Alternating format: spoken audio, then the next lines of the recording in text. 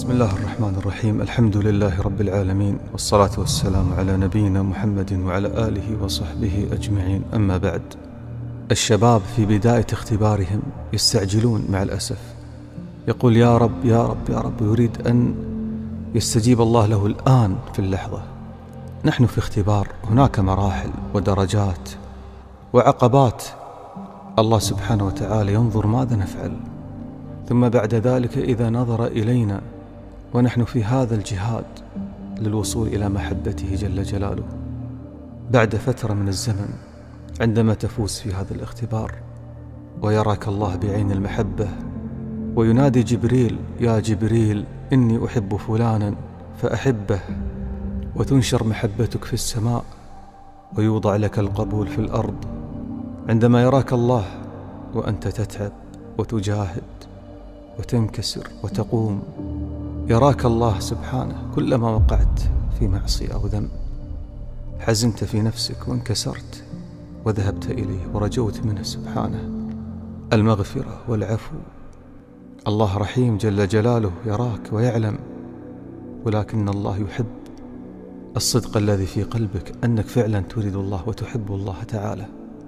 بعد فترة من هذه المجاهدة وهذا التعب وهذا الصراع تأتي لحظة الاصطفاء وتأتي البشرى.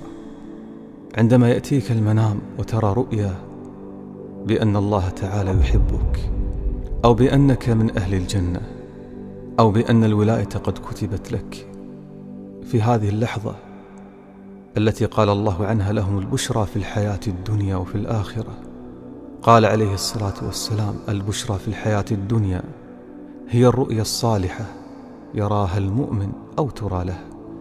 رحمة من ربك وتثبيتا لهذا العبد وكرامة له وحبا له حتى تعود إليه مرة أخرى القوة فيكون سباقا سريعا إلى الخيرات مشتاقا إلى ربه.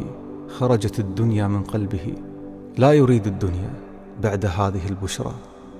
ويرى أمام عينه تأكيدا لهذه البشرى أنه إذا دعا الله الله سبحانه وتعالى يستجيب دعوته. يرى أمام عينيه القرب الإلهي منه. يرى أمام عينه خوارق للعادات مستحيل أن تكون إلا بأمر الله وبإذن الله. اللهم اجعلنا خير عبيد على وجه الأرض لك وأنت العزيز. اللهم اجعلنا خير جنود على وجه الأرض لك وأنت القوي المتين.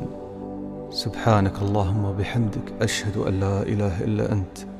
أستغفرك وأتوب إليك. سبحانك اللهم وبحمدك أشهد أن لا إله إلا أنت. أستغفرك وأتوب إليك.